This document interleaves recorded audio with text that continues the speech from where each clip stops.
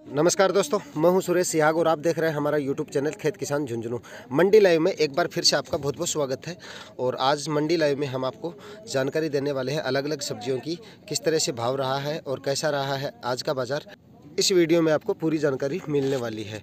सबसे पहले बात करेंगे हरी मिर्ची की। तो हरी मिर्ची का जो आज का बाज़ार है वो सात से आठ रुपये है और टमाटर का जो है वो है दस से बारह रुपये किलो और अदरक है तीस से पैंतीस रुपये के जी और जो गंवार फली है, इसका रेट है पचास से साठ रुपये पर के जी वहीं कच्चे आम की कीमत जो है, वो तीस रुपये के लगभग रही है आज की।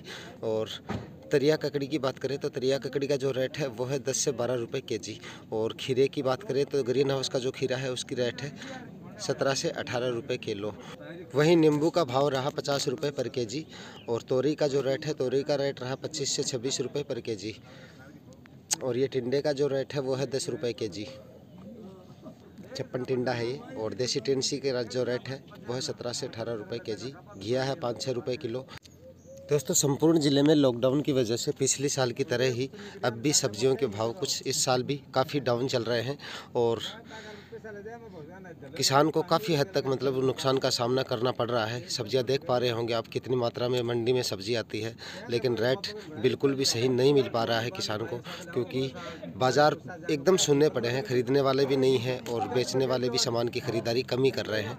और खरबूजे की जो रेट है, वो है पच्चीस से छब्बीस रुपये किलो, वहीं तरबूज सात आठ रुपये किलो से ऊपर नहीं बिक रहा है। जो अच्छी क्वालिटी का तरबूज है, उसकी भी जो रेट है, वो सात आठ रुपये किलो ही चल रही है। तीन चार दिन से टेम्परेचर में अच्छी बढ़ोतरी हमें देखने को मिल रही है। इस वजह से उम्मीद कर रहे हैं, तरबूज में एक दो रुपये का सुधार हो सकता है, कन्फर्म नहीं है। खेत किसान पे बने रहिएगा समय समय पर आपको मंडी अपडेट मिलते रहेंगे। आज के वीडियो में इतना ही। मिलते हैं किसी नए वीडियो में, नए टॉपिक के साथ, तब तक के लिए जय हिंद।